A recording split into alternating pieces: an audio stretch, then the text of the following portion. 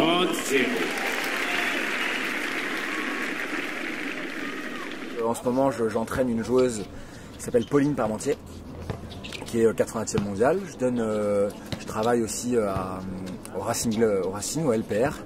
Je donne des cours de tennis, bien évidemment. Et euh, je bosse aussi un peu avec une chaîne de télé. Je commente euh, des matchs euh, sur ma chaîne sport. Le, le plus beau moment de ta carrière? Euh, je dirais euh, forcément le match contre euh, troisième tour sur, euh, sur Joko à, à Roland. Perdu en 5-7 Ouais, perdu en 5-7, ouais.